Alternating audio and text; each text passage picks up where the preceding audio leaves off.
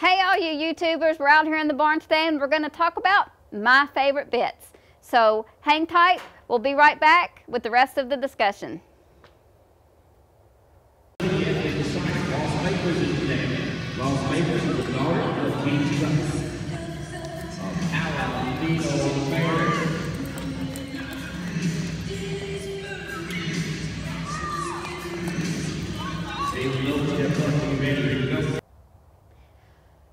Well, since we're all cooped up in the house, not really having much to do, um, everybody's been posting their My Favorite Bits videos to talk about their bits, and I tried doing one on my phone and posting it, but I ran into technical difficulties, and it's like stuck in limbo out there in tech world. So we decided, well, we'll just uh, kind of make an official one, I guess you could say, and put it on our YouTube channel. So we'll kind of always have it for people to reference back to. And um, I don't know, by virtue of just me wanting to know things and how they work, I've, I'm fairly knowledgeable in bits. And um, one of the things you have to understand about bits is uh, the, the parts of the bit and how they how each part works and why they work. And we have videos explaining all that that we've already videoed. But so this one is just more going to be about um, kind of my bits that are in my arsenal that I, kind of my go-tos that I tend to use. Um, I have a lot of bits because, you know, you, you just never know when something might work that's really off the wall or out of the blue. So I have a lot of bits. But these, these particular bits here seem to be the ones that I kind of migrate towards the most and fit my hands the best. And so a lot of times that's what it is with bits is um, the bit has to fit the not just the horse, but more, mostly the rider's hands. And so that's, that's uh, why I have picked, I think these particular bits that I picked is because they seem to fit my hands the best. Um, I have, um, I ride, I have a real light hand. And so a lot of the bits um, that I like are going to maybe um, have a little more shank to them than what most people would because I, I ride with a really light hand and I have and I try to have a really quick release. So I always want to use something that's also that's going to have that quick release. Um, and then I'll get into why I pick uh, certain bits as as I talk about them. But um, you know, um, I guess a year or so ago, I kind of introduced Facebook to this uh, bit that I had found that I had been using for for a while and really uh, was liking what it was doing in my training program as far as how it was making my horses feel.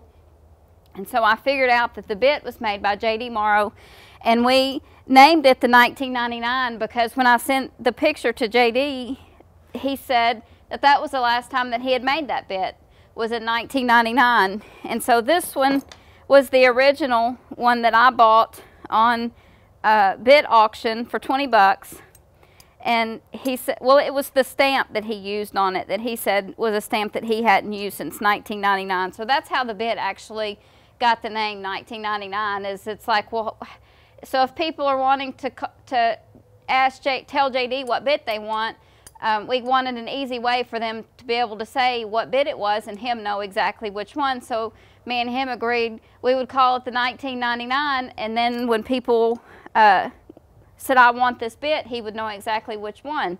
And so this was how I started off with this, with this 1999 rigged up.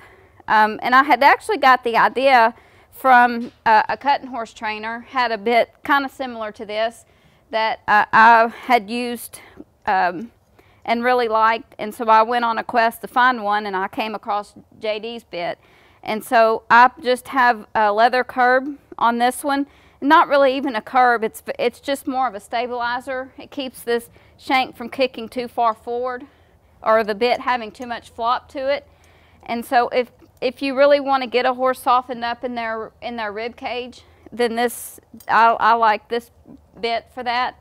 Um, it's just a um, twisted wire snaffle mouthpiece um, without the curb. If you need more lift, then, then you can get it with a curb chain, and that's going to give you more lift than th this with, with the rope, with the leather on there or just a piece of rope is going to give you a lot of lateral flexion.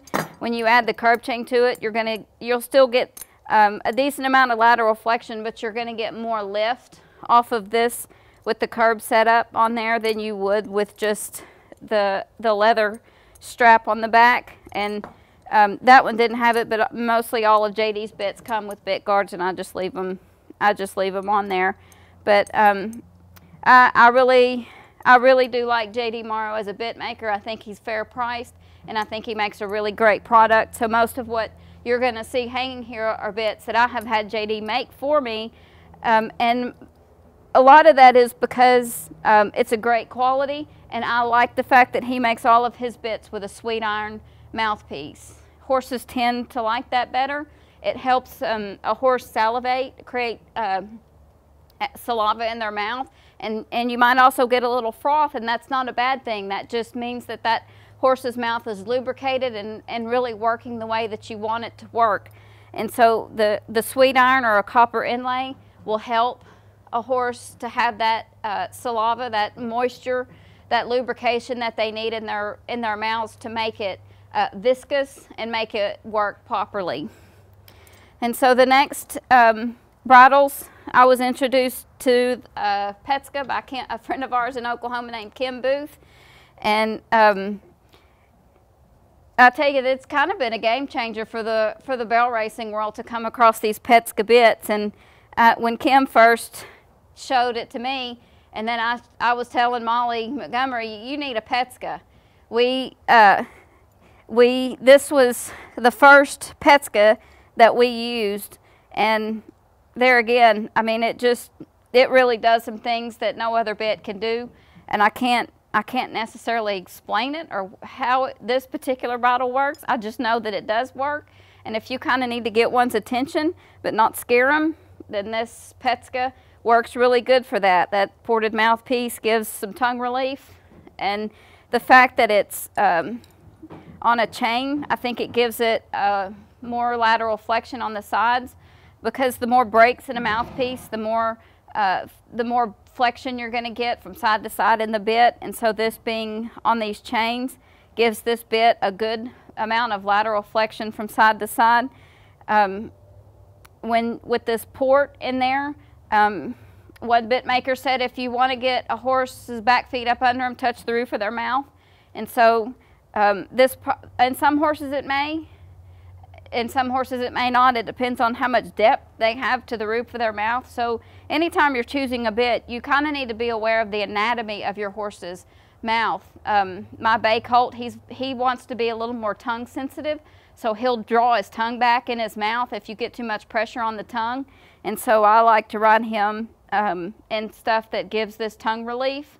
That's, that's what a lot of these ports do is they give tongue relief to those horses so they can they can kind of get their tongue uh, you know out of the way without drawing it back into their mouth because what will happen is if a horse learns the habit of sucking their tongue back in their mouth they'll start to cut off their airway and then you'll begin to have breathing issues with those horses so if I notice them doing that then I try to not use bridles that I know is going to instigate that and continue for that to be a problem.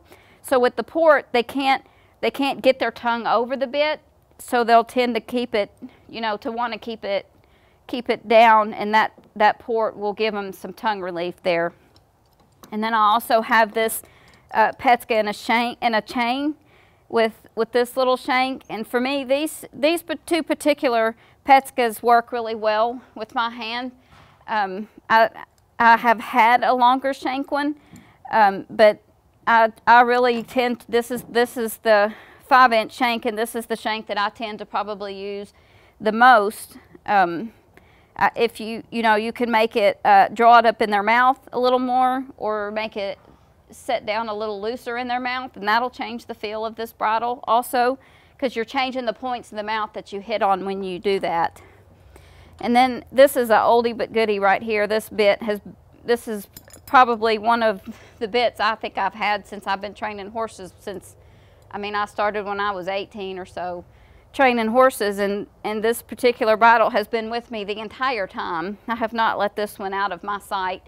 Um, and there again, it's I use it more for training than competing. And so I have the leather, the leather piece on here and that's kind of just to keep the bit stable and from kicking too far forward. You see it has a chain mouthpiece, so with all of these breaks, you're going to get a lot of lateral flexion. The fact that you have some shank length and some purchase length, you're still also going to get lift in this bridle. Um, but if I really want to get kind of get one softened up in their face, this this is my go-to. Um, I think a chain gets a horse uh, pretty bendy and pretty soft, and you can um, booger the corners of their mouth with this bridle, so you need to pay attention and be a little careful with that. If you really get to um, pulling on this bridle, um, you will you will kind of rough the corners of their mouth up. Also, don't recommend bitting around in this particular bridle because you you there again it it'll pinch them, and they you will kind of get those corners a little sore. And some horses might need that, but some horses might get really offended by that. So, just pay attention to that if you use this particular bridle. But it has its purposes, and I do I do use it, and I do like it.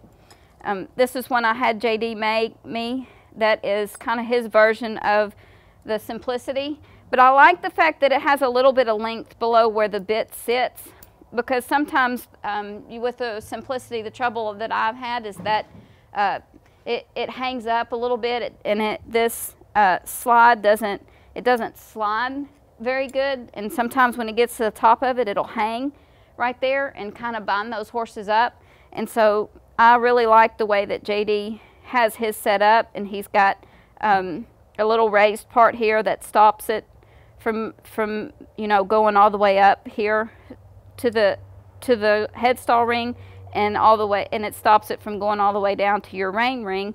This particular one has a little bit of a square mouthpiece and I like JD's square mouthpieces because they're just enough to get the horse's attention, but they're not so square that they're going to scare one. And, and even with this, this square mouthpiece, I've never had any trouble with this particular bridle um, roughing up the corners of a horse's mouth. And it's not scary. It, it's not scary to them either. And like on that, you can't, I don't know, you probably can't really see it, but on this on the side of the square that would sit next to the horse's mouth, he's just kind of smoothed that off just a little bit, just enough so that it's not going to cut that bar. But there's enough of an edge there that they will definitely feel that. And then, you know, kind of like everybody else, I'm a fan of these reverse gag bridles, and um, a couple of mine are new because I've sold sold them, but uh, they are the sweet iron mouthpiece that's going to rust. Um, I, I really like this one. It's got a cricket roller in it.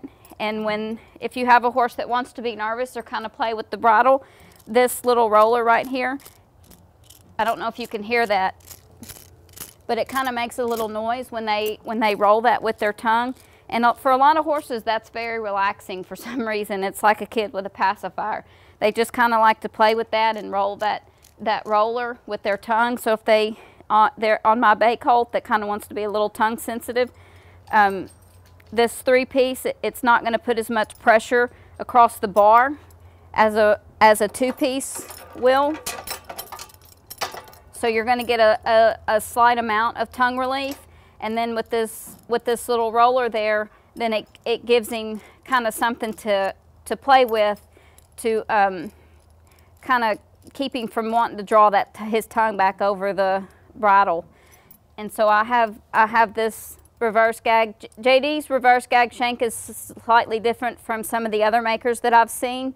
Um, it doesn't qu have quite as much gag, but to me, um, I have some gag bits, but I like I'm not a huge gag bit person, and so I like these ones that have a little bit less gag to them for competing. Um, you still get that quick release. One thing about this you'll see is that the that this this bit moves forward on this uh, ring that's out here. That's why this is called a reverse gag because it's not, it's not gagging off of the shank of the bridle. This bridle is moving forward as it, as it moves up this, that moves up the purchase of this bridle. So you get a, a little bit of relief, tongue re of release before if you keep pulling on this, then it'll, it'll draw them down. And so I have this one and this three piece uh, mouthpiece with the cricket roller. Not, and I ask, I always ask specifically for a cricket roller. It's just my preference. I have this in this um, that has the the uh, twisted snaffle on the sides and a chain in the middle. Um, some horses that that an actual chain will just have a little bit too much movement at the corners, but they but they kind of need the uh, that a chain provides, and so I like this this mouthpiece for that for that reason. I do also have it in a full chain and I also have it in just the regular two-piece uh, twisted wire. And there again, I really, I just really like the way that JD puts the, the shanks on these bits, so there's just not quite as much gag to them. It, it just fits my hands better, so I, I just, I stick with it. It works, so I stick with it. Um, when I got Phoebe, she was really funny about her face. And it took me a while to really feel like I got a bridle on her that she liked. And what Phoebe did not like was she did not like a bridle that moved at the corners of her mouth and her feel it. So I started using a Ed Wright pretzel on her. And as you can see, the, the mouthpiece is fixed to this little tube right here. And so the, the, it sits smooth up against the horse's mouth. And so I had, um, I had several uh, different mouthpieces of this made. And, and actually, when I started off with Phoebe, she was in um, a shank similar to this, but it had this uh, three piece with the copper roller in it. That's actually what I started running her in. And kind of as she got more uh, finished and a little bit stronger, I ended up with uh, the Ed Wright pretzel bit on her. And it gave her that tongue relief and, but, and it also had that stability on the side so it didn't irritate her on the corners of her mouth. And she would just uh, bounce her head in the bridle. Um, she'd let you know for sure real quick if she did not like it. And so that's what got me started using this particular style of bridle. This one is uh, a Molly Powell rate and turn. Um, I think it's the level E. It's got a, it's got quite a bit higher port in it, so it's got more port than what my Petska does. So if I have a horse that I really am wanting to work on break at the poll, then this that would be the reason that I would pick this particular bridle. I have, I'm not an O-ring person, but I do have a couple of them uh, that I like. This particular one is a Dutton, and it's just, it's a loose ring, O-ring, and it's got the sweet iron mouthpiece with the copper inlay. Um, you know, I, I, it's not something that I use a ton, but uh, occasionally I'll have a horse that um, doesn't really like a lot of shank, and so I'll, I'll kind of try this on him. I've actually never had a horse that I've ran an O-ring. This is more of a just a training tool for me. Um, it, I don't know, for running purposes, I have too soft of a hand, so an O-ring really doesn't doesn't fit my hands very well. Um, as far as combinations go, this is probably this is the only one that I use and that I like, and it's my mom's original Lynn McKenzie combination um, with the rope nose. You'll see this in in all all different variations now, where the uh, nose is attached to the shank and and all different kind of ways that this is set up. But for me and my hands, I, I this is about the, this is the only combination you really see me use. Um, everything works a little more independently. And so with this particular uh, combination, most of them, if, if the nose band is on the shank, then the first thing when you enact this shank, that nose band is going to move forward and you're going to have to get uh, pretty far down into your pull before the horse is going to feel the nose band. With this particular one, the way that it's rigged up, um, it's kind of hard to see it just hanging here, but the first action that you're going to get from this is curb pressure and nose pressure, and then they're going to start feeling the, the pressure of the bridle. So um, I've, I've had some horses, um, some of y'all may remember Rachel. Um, she, Rachel was really light in the face, but when I ran her, she kind of wanted to be strong. Well, if, if you had all the pressure at one particular spot, then it it, it kind of scared her or she would kind of brace on that more. And so what this combination does is it spreads those pressure points out so they're feeling it in different places. You've got uh, some in the curb, some in the nose, and then some in the mouth. And I, I tend to always prefer just a chain mouthpiece in my combinations because I feel like um, in a combination, it's kind of like a little bit like a hackamore. They're, it's going to stiffen them up anyways. And so I just prefer a, a chain mouthpiece with my combinations. And um, actually on a combination, I've never had it um, booger up the corners of a horse's mouth.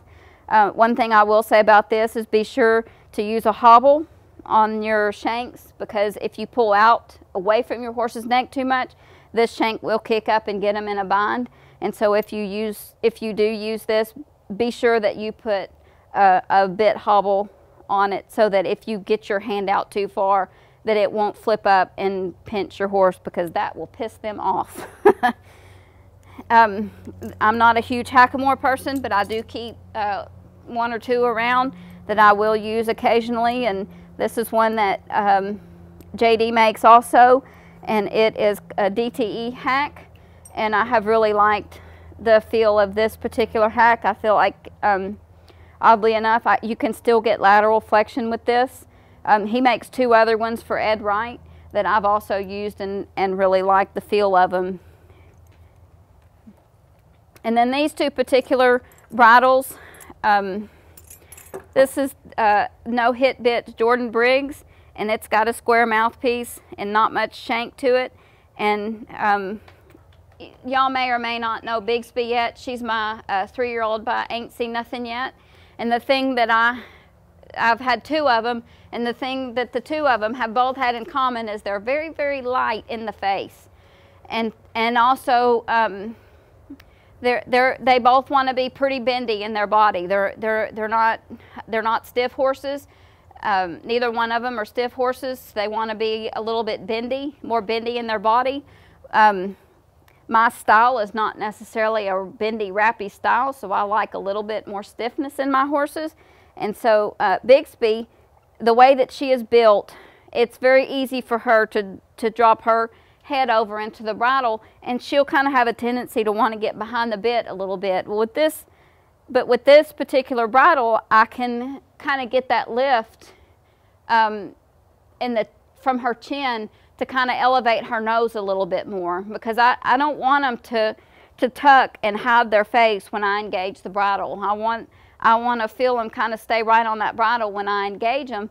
And so with this on, on Bigsby, um, and I have one other horse that I like this on, I feel like that I can still get that lift that I want without over tucking them into the bridle. And I have this one hanging over here, not necessarily because it's one I use a ton, but I'm sure most of y'all know uh, the other Ain't Seen Nothing Yet, the Palomino mare that I ran, Hope. And this is one of the bridles that I compete on in her uh, some, and it's a clover. It's a clover bit with just a twisted wire snaffle. And there again, it, it's kind of that same, that same concept of it, it just won't overtuck her. She, she doesn't hide her face from it. She kind of stays right there in the bridle on it it, from this, if I feel like that I need a little bit of a step up on her competing, I use this, oddly enough, I use this uh, with the, with the um, chain in the middle. It's, it's light and it's not abrasive to her. It's not too, it's not too abrupt. It has a nice even uh, pull to it. And so when, when you engage this, it, it acts a little bit more like a chain where it, um, you know, it, it just, it moves real flat across their mouth. You don't get that point or that peak that you get from a, from a snaffle and have that uh, kind of point up in the middle of their mouth. It moves across their mouth a little bit more like a chain would. And so it's not, it's not an abrupt feeling to them. And so, uh, but, but she's a little bit funny in her, the, about the corners of her mouth too. And she doesn't like a chain, so that was what made me uh, pick this bridle for her. And probably every horse that comes to me, I'll ride them with a tie down at some point. And this particular tie down is my kind of my tie down of choice because I don't ever want a horse to get to where they're bracing on a tie down. It's just a, it's just a tool that I use to remind a horse to stay in collection when I touch their face. Um, I used this type of tie down on Phoebe. To this day, she still runs in one. Uh, Hope doesn't require one. Uh, she she won't she won't run into a tie down. So, and but she she kind of keeps her head and holds her collection. So I, I don't feel a strong need to put one on her. But if you see me using a tie down, this is going to be the tie down that I choose, and it's always a little bit loose. It's never tight. It's just that if they want to lift their face when I make that contact and they bump that little rope, it's just a reminder to them of, hey, bring, bring your head back down. Um, that, that little rope, it's going to have it's going to have a little more bite to it than a leather tie down, obviously. I think sometimes with the leather tie down, it'll dull them up and they'll really get to pushing into a leather tie down. And, and there are horses that, that their style kind of need, they need that, that leather tie down for balance. But um, like I said, if we're talking about preferences, then this is, this is my preference of what I like to use. Um, I will use a brow band occasionally, and I just prefer the nylon brow band from L&W.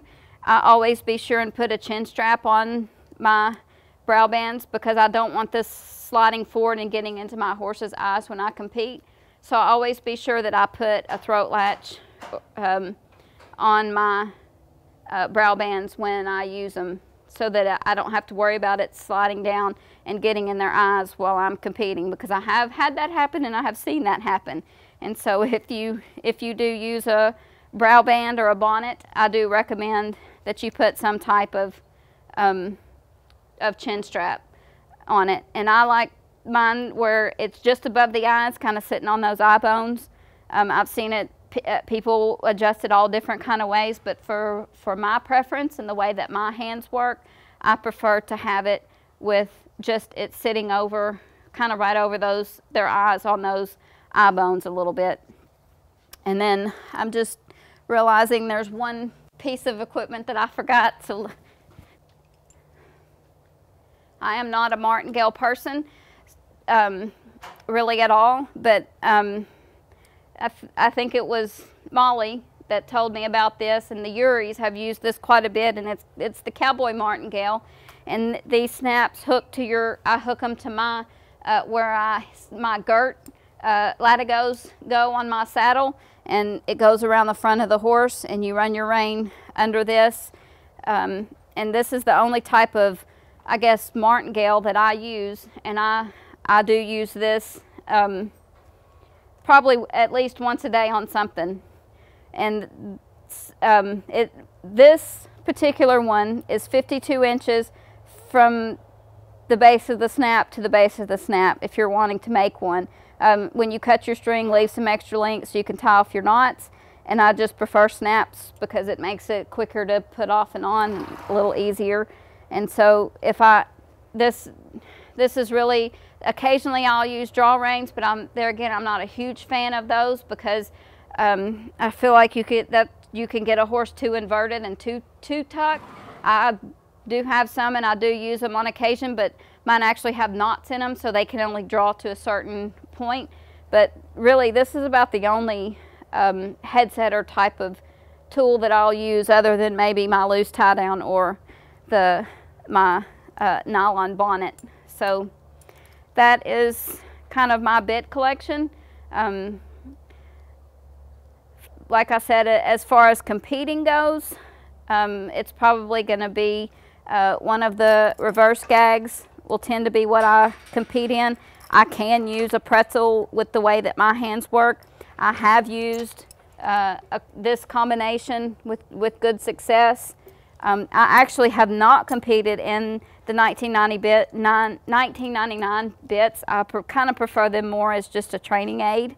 Um, I have not competed in um, ring bits, and I actually have not really competed in either one in in Petskas, and um, it's just uh, maybe more of a personal preference. I just kind of prefer them as a training tool.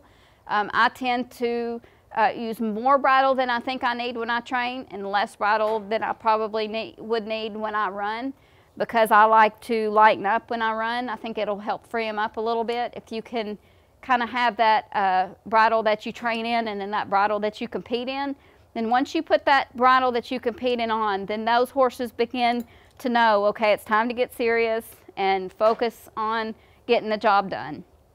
So I do kind of like to have um, a bridle that I train in and a bridle that I compete in. And sometimes I'll try to have a similarity between them. Like if I, if I want to compete on them with, uh, let's say my chain reverse gag, then my ride around bridle might be either um, this particular longer, a little bit longer shank type of gag or the chain Petska, kind of depending on what feel I'm wanting to get in them at that particular time.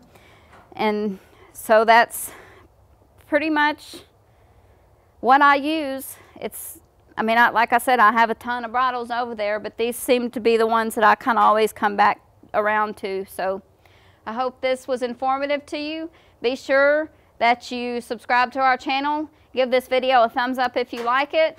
Share it so we can get, some, uh, get our subscribers up and y'all just have a great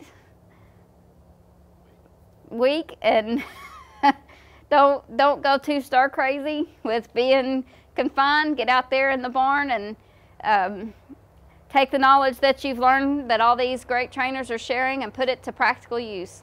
Y'all have a great week.